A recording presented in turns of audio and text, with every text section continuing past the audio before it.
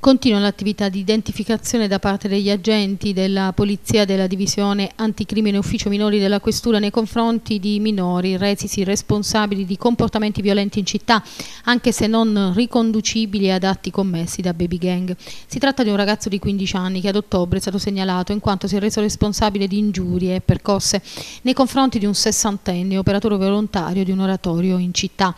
In particolare il ragazzo era stato diffidato dal frequentare l'oratorio a causa di sue precedenti condotte. Più volte aveva assunto comportamenti aggressivi, infatti nei confronti di coetanei e ragazzini più piccoli aveva ingiuriato gli ospiti di colore dell'oratorio, in un'occasione aveva colpito con calci e pugni il responsabile.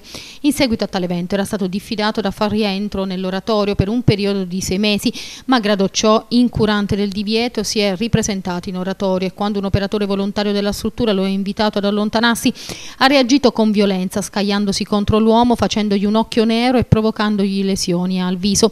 Il gesto è da inquadrare in un contesto socio-familiare difficile. Dopo la convocazione dei genitori presso l'ufficio minori della Questura di Foggia è seguita la segnalazione all'autorità giudiziaria minorile.